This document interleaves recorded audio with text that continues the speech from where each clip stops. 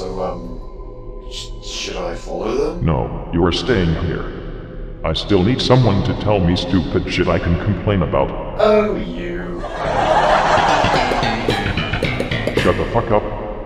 Anyway, tell me what Tyranids are. Well, you're not gonna like this.